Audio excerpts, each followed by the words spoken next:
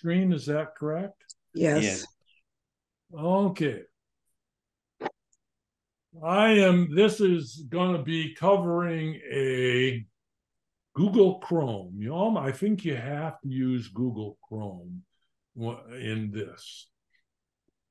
And Google has just released this. This is, is since, uh, you know, I started developing these slides in late July, August is when the first version, and then I edited them in September and then I edited them once more before I show him. And this was released in September. It's called Search Generative Experience. And what you're going to be looking for, and it changes. I hope that this all works live as we go through this, but it changes. And what you're going to be looking for hmm. is this beaker from Google Labs. This icon takes you to the Google Search Generative Experience. This icon takes you to Google's products, the Google Docs, etc.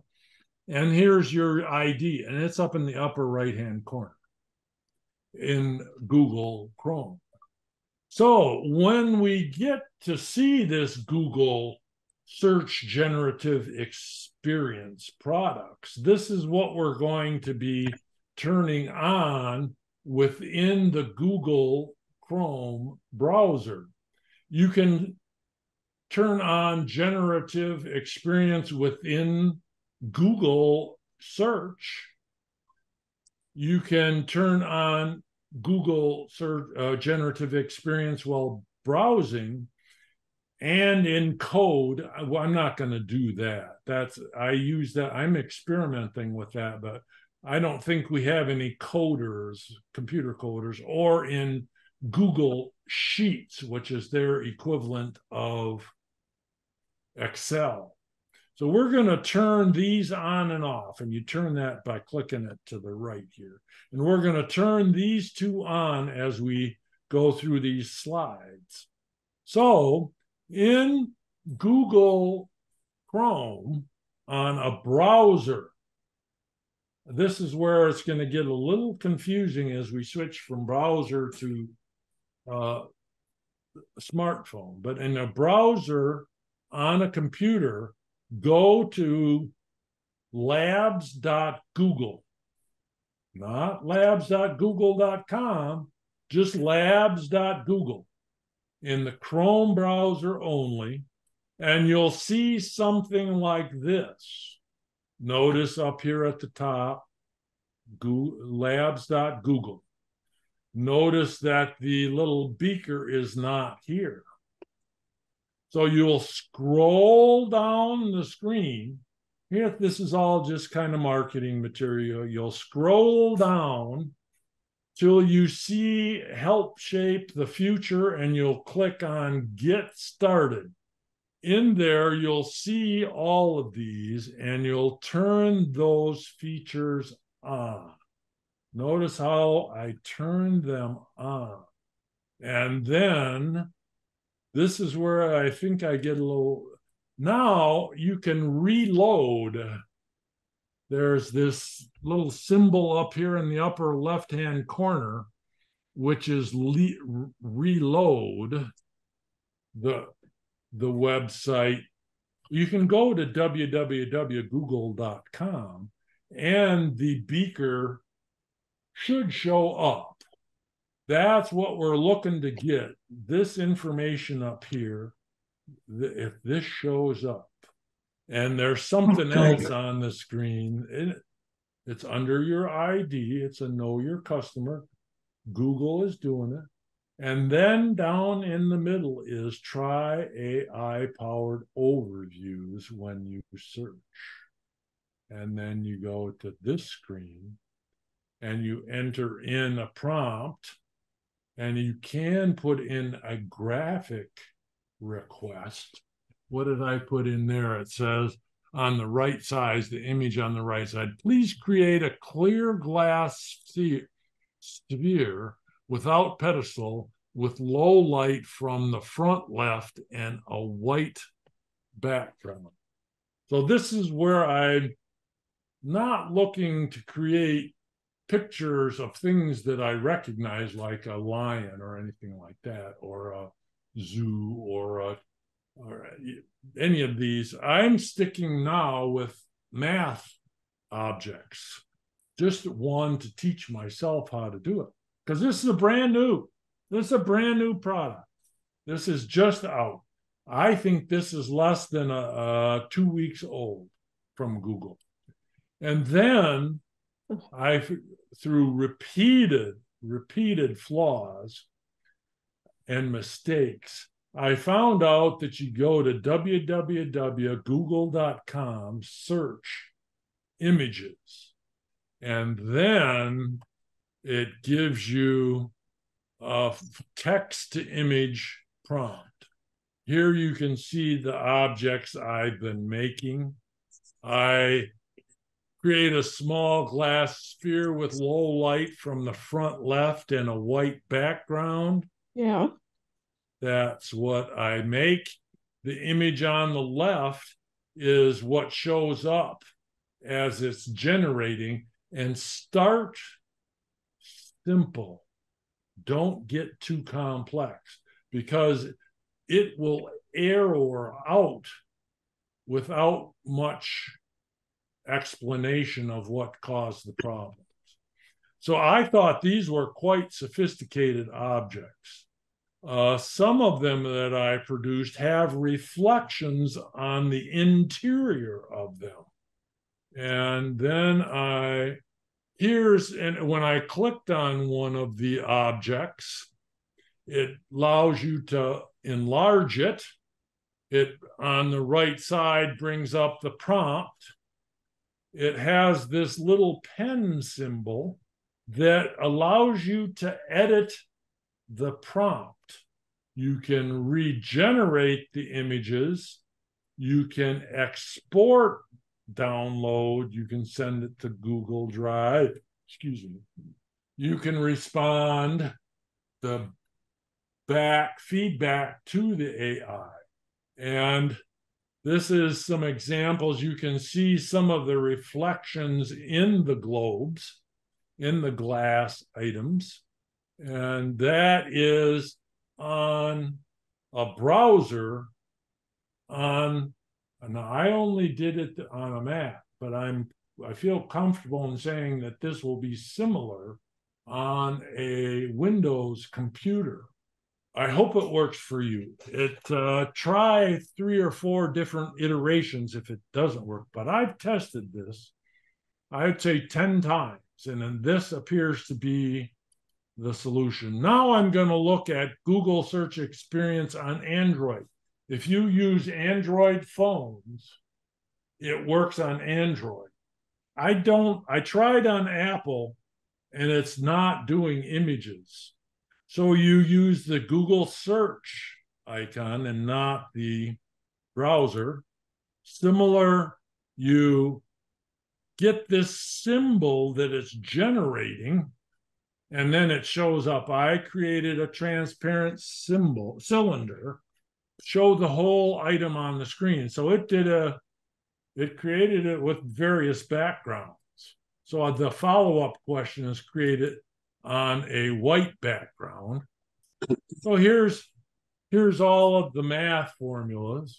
I believe that picture on the right is a three-dimensional calculus shape, then some more shapes, 3D images, and then you can see I had a ball uh, um, trying this out with these particular images.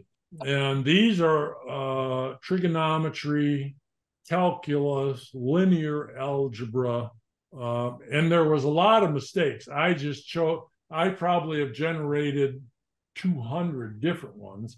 And these are the more attractive ones that I, and, and some of this is very interesting. You can select out the items in these images in the, on your Google phone. There's a facility in Google phone to select just the image, separate it from the background.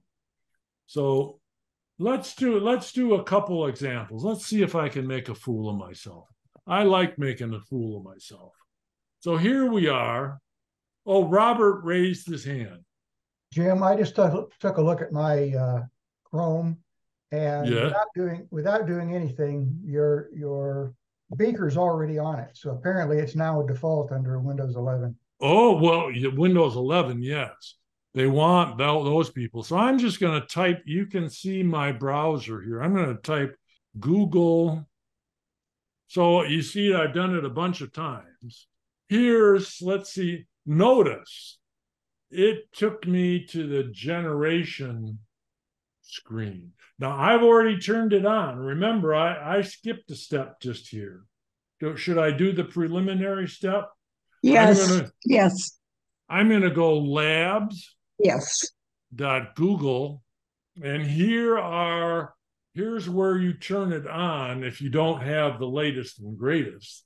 You know, the Google is trying to get this in front of people with software that is going to be around for a while. So notice I'm scrolling down. I don't know what project IDX is. I know IDX is index. I don't uh, know what ma- what Magic Compose is. I don't know. But then here, notice right here where it says generating, get started, help generate, help shape the future of information. I'm going to click on get started and I've turned all these on. And then I'm going to go up here to re- reload. After I've clicked, you know, you can, I'm going to, you can click Right. these on and off right there. Okay. Yeah, yeah. That's that's the uh, Yeah. uh, I agree. And then I'm gonna now that it's turned on, I'm gonna go to Google dot Google, Google, Google, and the beaker shows up indicating that that is loaded within Google. And then I'm going to type at the end of this, I'm going to type search, nope, slash search images. And there it is. I like, see, oh, this is this is what the you know these mathematicians in the 1970s or the 1920s had visions of these things. They couldn't generate them, but they had visions. And the here's some more of the uh, items that I generated. Let's see if there's any others that are more. These are some of the. You'll see some from aerodynamic shapes what I started to see was things that are on spaceships. But let's go back and generate my own. Let's see if I'm gonna I'm gonna please create a boho watercolor of 1920s Paris cafe C-A-F-E street scene. S C E N E, with just a few people on the street in an early morning. How's that? Let's see what this does. Here it's, oh, let's take some of it away. I have seen in there twice. Let, I'm going to take away some of the, the information, generate the scene. So Jim, this is Bonnie. You're generating from something they already have. It's not like they're creating something that you've given them with information. They're not Mm. coming up with a new painting. Yes, based I, you I believe they are coming up with a new. Uh, that's why you have to put in the please create. I'm going to take out boho and let's see what happens. No, these are not existing pictures. It will at times put them in, but at other time, and I, it's a good question if you're getting that up there. Sometimes it searches for it, and sometimes it creates it. I don't fully understand. That was the first part of the presentation. In the Google search portion, it uh, there's a way for you to get picture links. Now, I'm going to just let this run here and I'll talk in the background. Well, I'm just surprised that they didn't come up with anything, I guess. Oh, it's just too complex. Remember, this is all development. This is all information under development. This is not a finished product. There's a product out there called Mid Journey, Midjourney, that you pay $20 a month for. That's a finished product. Google's, you're seeing stuff that may not be available for the uh, February class. But here's, I regenerated it. I kind of like these two. I'm going to put this one up there. I like this one. This one's photo. These are, let's look at, the, I kind of like that one. Mm-hmm. Um, and so now look at over here. I can I say, oh yeah, this is pretty good, and then I can download it to my computer. Boom, there it just downloaded it. So then I could take this into PowerPoint and put graphics and or if I'm an advertising artist, I could put in there buy my liquor uh, type thing in this particular drawing. So is this Um, different in the sense that it doesn't tell you it's AI generated? It's not it's not posting anything in that I'm seeing. Is there a cost, monthly cost for this? No, not yet. Not yet. There is uh there is no cost to it. You would if you went crazy like I did, it will say you've reached your max for the day. Mm, Because I went, oh, I went way. Uh, I was, I couldn't sleep. I was so excited. They have a fine print at the bottom of their screen. Generative image may display inaccurate, misleading, or offensive images that do not represent Google's view. So, this is the cautions and the risks. Remember, we talked about that. So, this is, and this is available in on Android phones. And the last part of the presentation deals with it. It's 230 this is let's just in closing i, I want to do two things let's do a, a photo please create please create i create a photo realistic photorealistic image of um, mountains with people hiking, H I K. Uh, and I'm going to put my favorite in bokeh background. Let's see if that causes it to arrow out. Starts the generation process. And so here, let's, oh my gosh, which one do you want to look at? Uh, so again, this is, it's got a little bit of a problem in that it's blurry let's look at this one. This one has a little more refinement to it, uh, and uh, and you can download these. Notice it has a common feature in these generated images, and it doesn't show. It's not showing people's faces, and somewhere we have to really start dealing with the bias the bias of African American faces are not presented well because they are not in the, equitably represented in the corpus of images training the AI. That there's a paucity of images of African American faces, African faces. So as we're closing, I'm going to do one thing here